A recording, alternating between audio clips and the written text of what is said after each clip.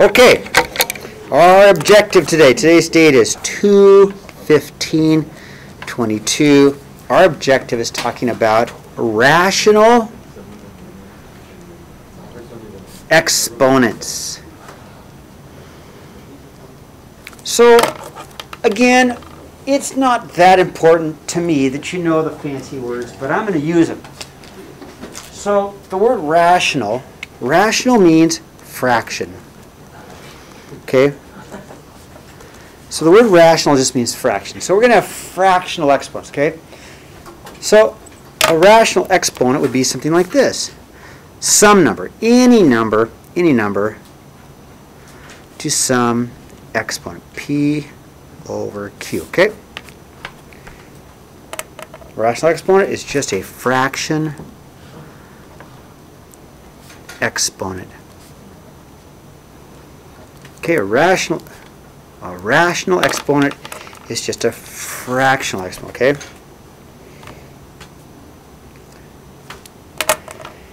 An example of that could be 32 to the 3 fifths power.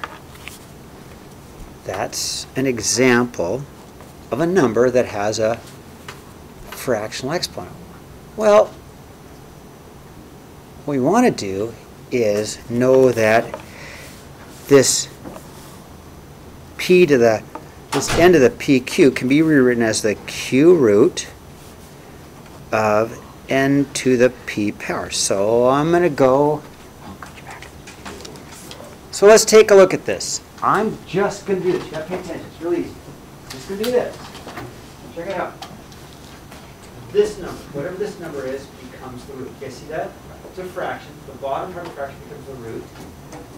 So this number, whatever it is, becomes the root, and this number here becomes the power. So we take 32, take 32 and make this number, the 5, the root, and make the 3 the power. Okay, so let me rewrite this. Okay, so just put the numbers where they go. That's all I'm going to do.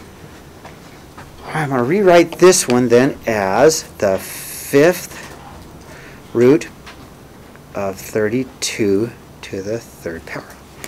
Okay, so then, let's see. I'm going to go back to my journal.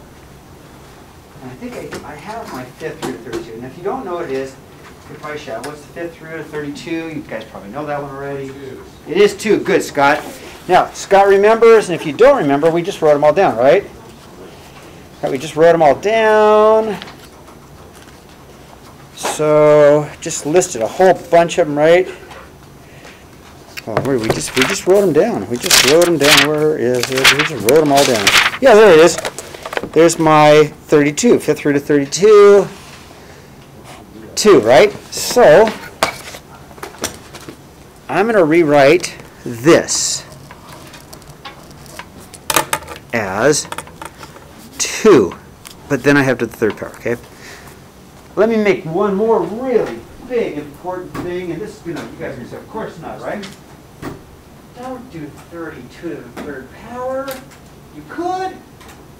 You could. Don't do this. Humongous number, right? And then I'm to say, okay, what's the fifth root of that? Make it small first, right? Make it small, and then it makes the whole problem easier, okay? Yes, you could go 32 third power. Boom, big number, right? And then fifth root of that. Nah, make it small first, okay? And then what is 2 to the third power? It's 2 times 2 times 2. What is 2 times 2 times 2? 8. It is 8, so the answer is 8. All right? Okay, now, example one's actually really easy because all they want us to do is change it. They don't want, they no answer. We want no answer. We just want to change it. That's all. We just want to change it so what does it mean by change it? We're going to change it to exponential form. I'm going to rewrite this as 7 to the 2 thirds power. That's all I want to do. That's all I want to do is just change it. 7 is my base to the 2 thirds power. That's all I did. What is 7 to the 2 thirds power? It's an ugly number. It really is. It's an ugly, ugly number. So we're going to leave it the way it is. 7 to the 2 thirds power. Ugly number, it's irrational, so let's just leave it as 7 to the 2 thirds, okay? Now 5. There are two invisible numbers, okay? Square root of 5. There's, two, there's an invisible number here because it's a square root. And it's a 5 to the 1 power, right? Invisible number. We know there's a square. It's called a square root. 5 to the 1. So we're going to rewrite this as 5 to the 1 half power. That's all. Okay, number, example 2. We, same thing, no answer. We do not want an answer. We just want to rewrite it. No answer. We just want to change it. I'm going to rewrite it into radical form. All right, so I'm going to go and do this to start off. So a radical, that's my radical. Square root, cube root, that's a radical. I'm going to put the 2 here, 6 to the 1 power. That's all I need. Okay, so the 2 is the root, and the 1 is the power.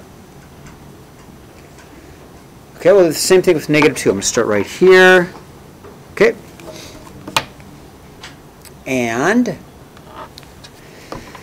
4 goes here, because that's my root. And my 3 goes here.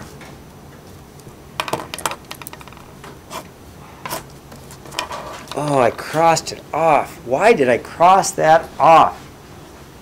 I crossed that problem out. It's negative. You, can you take the fourth root of a negative number? Because you negative times a negative is a Positive. times a negative times a negative is a. Positive. Can you take the fourth root of a negative number? No, that's Wait, what so you you do. wanna take the, like? You can, Scott. Way to go. So you can do this. Nice job. I can do the cube root of, say, negative 8, couldn't I? That I can do. Negative 2. Thanks, Scott. Way to be on the ball. So you can take an odd, Scott said perfect. You can take an odd root of a negative number, but not an even root of a negative number, okay? Okay, you ready to turn the page?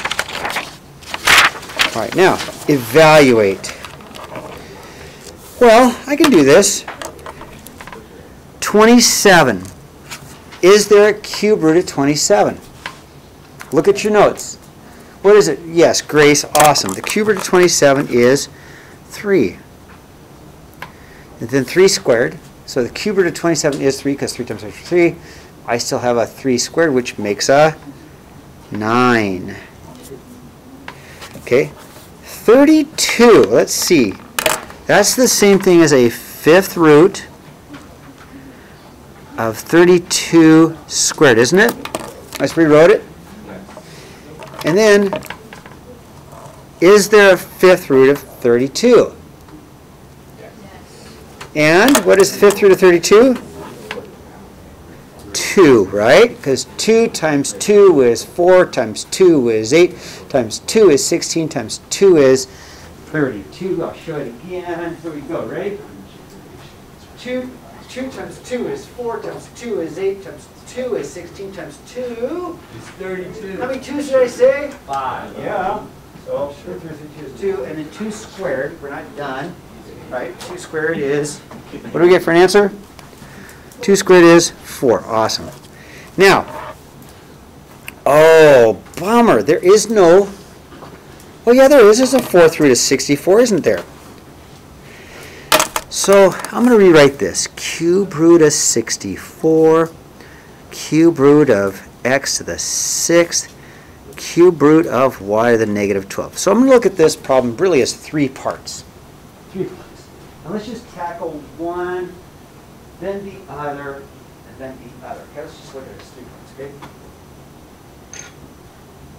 Let's start right here. Is there a cube root of 64? Okay. What is it? Four. Four, everybody agree? Four times four is 16 times four, so that's, is 64, so cross that out and make up four, okay? Okay, so I'm gonna go straight to the cube root of 64 is four, awesome. Now, do you remember how we took half the exponent? Half, but we're not gonna take half of the exponent, what are you gonna take? A third, totally right, so we're gonna take one third of my exponent. And so we're going to get an x to the 2. And then we'll take a third of the exponent, right? And we get a y to the negative 4. And I'm gonna do one last thing. What am I gonna do? One last thing. I don't like the negative exponent, right? So when I see a negative exponent, we think fraction bar, right? You see a negative exponent, you think fraction bar. I'll bring the y to the fourth down. The 4 stays on top, and the x squared stays on top, and there is my answer. Okay? How is that? All right, here's what we're going to do. For homework today, we're going to take a mass break. We're going to take a little, outside for a second. Page 25, we're going to go 1 to 25 odd. Odd, okay, and I'm going to stop my recording. And let's get outside and take a little bit of a